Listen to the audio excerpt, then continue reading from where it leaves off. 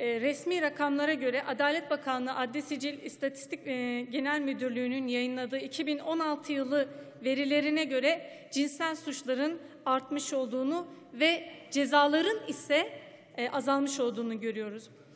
Şimdi bu konuda yapılmış çalışmaları aslında sizlere göstermek istiyorum. Daha önce Lanzarote Sözleşmesi milletvekillerine bir bilgi olarak rapor haline getirilip dağıtıldı.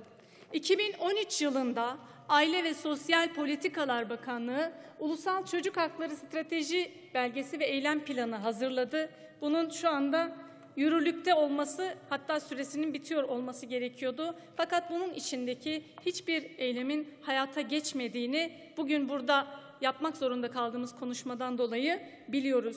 Yine iki bakanlığın ve birçok kurumun hazırladığı çocuk koruma hizmetlerinde koordinasyon strateji belgesi 2014 yılında hazırlanmış. Fakat biz bugün hala burada çocuk istismarlarını önlemek için neler yapılmalı diye araştırma komisyonu kurulmasını maalesef konuşmak zorunda kalıyoruz. Bu rapor, bu raporun içerisinde sonuç kısmında özet olarak 87 madde olarak yer alan önlemlerden tek bir tanesi en azından ilk maddesinde yer alan Türkiye Büyük Millet Meclisi çatısı altında kurulması önerilen ve bütün parti gruplarının da kabul ettiği daimi bir çocuk hakları komisyonu kurulmuş mudur? Kurulmamıştır. Maalesef kurulmamıştır. Demek ki kalın kalın raporlar yazmak bir işe yaramıyor. Önce zihniyeti değiştirmek gerekiyor. Çok söyledik. O günden beri her gün yine yurtlarda yaşanan istismar vakaları, e, yangın vakaları, çocuklarla ilgili ekonomik, fiziki, duygusal, cinsel istismarlar yoğun bir şekilde devam ediyor ve bazı konular maalesef iktidarın hiçbir şekilde gündeminde değil.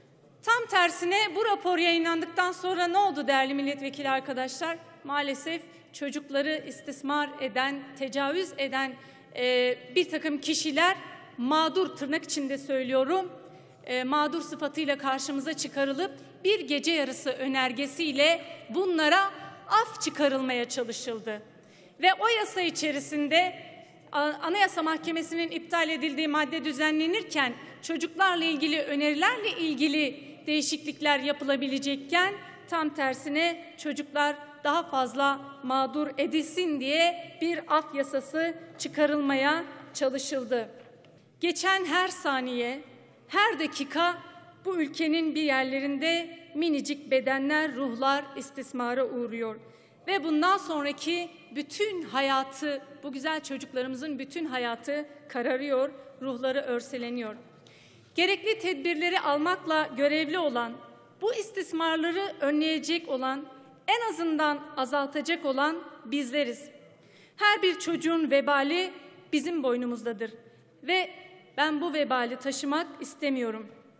Gelin siyasi görüşlerimizi bir tarafa bırakarak çocuklarımız için memleketin her bir köşesinde içlerinden sessizce çığlık atan bu çocuklarımız için birlikte etkili ama gerçekçi ama sonuç alınabilen ama samimiyetle hayata geçirilebilecek çözümler nelerdir? Bunu araştıralım ve hayata geçirelim diyorum. Hepinizi saygıyla selamlıyorum.